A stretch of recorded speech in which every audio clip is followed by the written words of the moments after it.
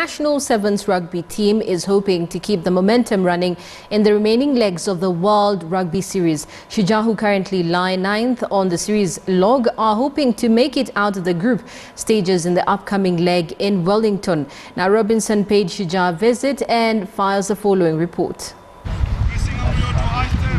2015 was a tumultuous year for the national sevens team in the World Series, with mixed results on the cards for Shujaa. The 2014-2015 series ended with Kenya finishing 13th on the log, but the tide turned towards the end of the year after Benjamin Ayimba took charge. Shujaa booked a spot in the Rio Olympics, but were left battered in the first leg of the 2015-2016 series in Dubai.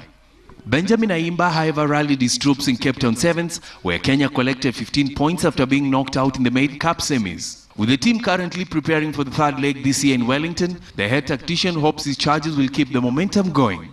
Remember, we are, we are, we are gunning for the Olympics, and this is part of the growth. So um, there's no there's no there's no kind of there's no uh, any kind of pressure on us to try and do much better than what we did. Of course, uh, the hard work that we're putting in is going to uh, the result is going to be uh, good performances. So.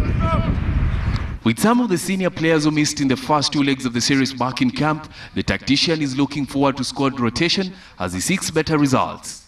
Uh, I won't preempt who exactly, but changes will be there. And uh, we're having full house of training every every single day, so every single training day. So we expect to see the changes. Um, most of them will be more tactical than uh, on-form players. Kenya has been placed in the same group as Australia, Canada and Portugal, and Shujaa are hoping to make it out of the group stages in Wellington. Of course, we always want to do one better, but uh, our, our, initial bid is to try and top that pool first. Like I said in the beginning of the season, it will be very exciting to top as many, to top our pool as many times as possible this season. That puts us in a very good uh, uh, position. So our first and foremost is to top that pool.